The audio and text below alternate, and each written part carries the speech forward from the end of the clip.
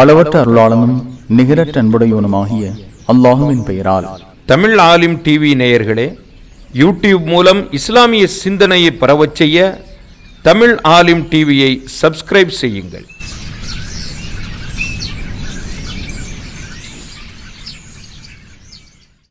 அபு ஹுரேரா ரலியல்லாஹு அவர்கள் மற்றும் அபு சயீத் ரலியல்லாஹு அவர்கள் ஆகிய இருவரும் அறிவிக்கின்றார்கள்.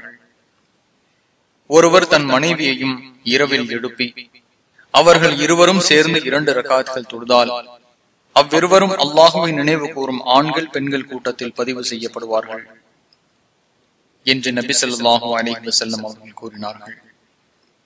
அபுதாவோ ஒன்று மூன்று பூஜ்ஜியம் ஒன்பது.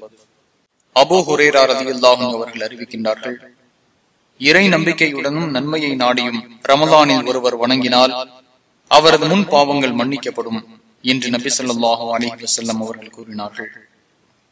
புகாரி இரண்டு பூஜ்ஜியம் பூஜ்ஜியம் எட்டு முஸ்லிம் ஏழு ஐந்து ஒன்பது ஒன்று ஏழு மூன்று. அபூ ஹுரேரா ரலியல்லாஹு அவர்கள் அறிவிக்கின்றார்கள் நபி ஸல்லல்லாஹு அலைஹி வசல்லம் அவர்கள் ரமலானில் நின்று வணக்கம் செய்ய தன் தோழர்களுக்கு ஆர்வமூட்டினார்கள்.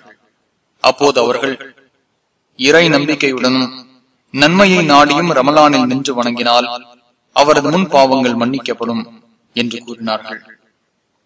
முஸ்லிம் ஏழு ஐந்து ஒன்பது ஒன்று ஏழு நான்கு.